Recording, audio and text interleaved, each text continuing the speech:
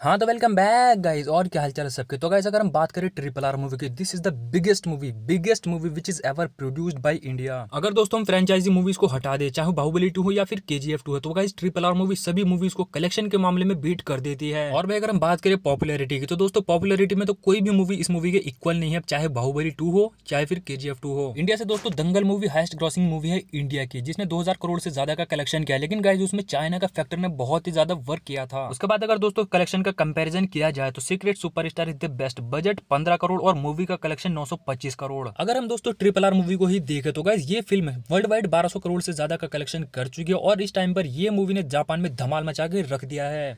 Triple R movie का जो collection हमने जापान में एक्सपेक्ट किया था ना गाइज़ उतना तो नहीं हो पाया। और इसका रीजन ये है क्योंकि दोस्तों ट्रिपल आर मूवी के साथ साथ ना जापान की बहुत सारी लोकल मूवीज़ उसी डेट पे रिलीज़ हुई थी। यानी कि दोस्तों, उसमें तीन से चार मूवीज़ तो बिग बजट मूवी थी और कुछ छोटी छोटी मूवीज़ थी, लेकिन टोटल जो मूवीज़ रिलीज़ हुई थी दोस्तों सेम डेट पे वो है आठ से नौ मूवीज़ तो गाइज़ दूसरी कंट्री में जाकर उनकी लोकल मूवीज़ के साथ में क्लैश इतना तगड़ा झेलना और सर्वाइव करना, ये बहुत बड़ी बात है। ट्रिपल आर मूवी के अलावा दोस्तों, चाहे बाहुबली टू मूवी होती, चाहे के टू होती, या फिर दंगल ही क्यों ना होती, इतना बड़ा क्लैश कोई भी नहीं झेल पाती। बात करें दोस्तों, अगर कलेक्शन की ट्रिपल आर मूवी को तो 18 नवंबर तक जो ट्रिपल आर मूवी का कलेक्शन है दोस्तों, वो है 15 करोड़। और नेक्स्ट ये बाहुबली टू को बीट करने वाली है, जिसका कलेक्शन है 16 करोड़। और दोस्तों, पहले नंबर पर मुथु मूवी है रजनीकांत की, जिसने 20 करोड़ से ज़्यादा का कलेक्शन किया है जापान में। उसको भी ये मूवी डेफिनेटली बीट कर देगी कुछ ही दिन में। भाई, अगर जापान में सेम डेट पे इतनी सारी जैपनीज मूवीज़ रिलीज़ नहीं होती ट्रिपल आर मूवी के साथ में तो ये बीस करोड़ तो एक हफ़्ते का खेल था ट्रिपल आर के लिए। लेकिन दोस्तों, कोई बात नहीं, ये मूवी ऑलरेडी हिस्ट्री क्रिएट कर चुकी है और ये नेक्स्ट हिस्ट्री क्रिएट करने जा रही है। जापान में नंबर वन मूवी ये बन के रहेगी। तो आप लोग बताओ, क्या ये मुथु मूवी का रिकॉर्ड ब्रेक कर पाएगी या नहीं कमेंट करके ज़रूर बताना। तो गाइज़ अभी की वीडियो में सिर्फ़ इतना ही। वीडियो पसंद आए तो वीडियो को ज़्यादा से ज़्यादा शेयर करो लाइक करो कमेंट करो